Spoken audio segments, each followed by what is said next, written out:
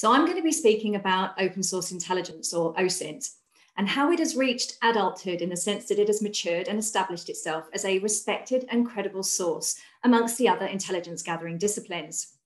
I'll explore how it has transitioned from being considered unreliable and just too vast to draw value from to a highly sophisticated discipline upon which many investigators now depend, not least to tackle misinformation and disinformation. I would like those attending to come away appreciating that OSINT is a vital component within the investigator's toolkit.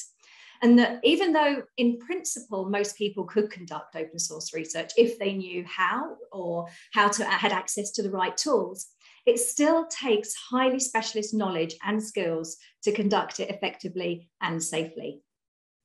So I think the development of tools and technologies which enable analysts to find, filter, and collect relevant information more, more efficiently is clearly a game changer in the OSINT world. But also, I think the way in which the OSINT community, including journalists, have responded to key events, including the Trump campaign, Capitol riots, and more recently, the invasion of Ukraine, have all demonstrated the value of OSINT in uncovering the truth. And as analysts, I think we've also got better at exploiting open sources and demonstrating its value.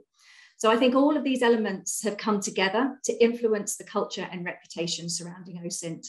So OSINT combats misinformation because it creates a wonderful investigative opportunity for analysts to apply their critical thinking skills and specialist tradecraft to safely trace the content back to its original source and validate or otherwise the information published. Now, what OSINT does is it enables us to seek out corroborating or contradicting information from trusted sources.